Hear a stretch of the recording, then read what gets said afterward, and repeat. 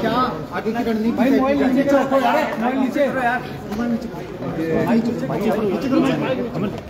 आज हमने कमल नीचे कर पार्लियामेंट से जो हमारे कांग्रेस पार्टी के पदाधिकारी है वरिष्ठ नेता है और संगठन में पिछले कार्य कई सालों से कार्य करते आ रहे हैं उनकी आज बैठक बुलाई है। लोकसभा चुनावों के संदर्भ में बैठक है और निश्चित रूप से आने वाले समय में ठीक है।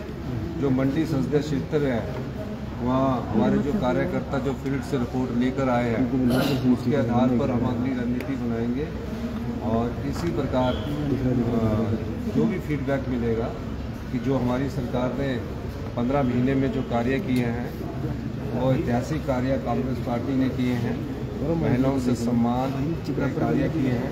पहली बार महिलाओं को जो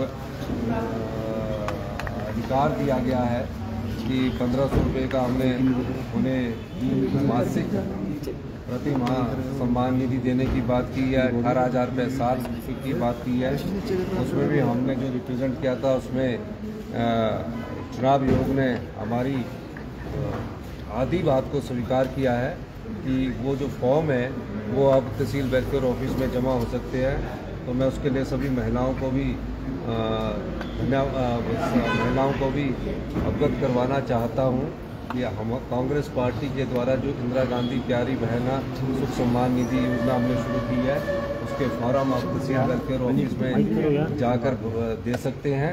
और आपको इस पंद्रह सौ रुपये का भुगतान जल्दी ही कांग्रेस पार्टी की सरकार करेगी। धन्यवाद। प्रत्याशियों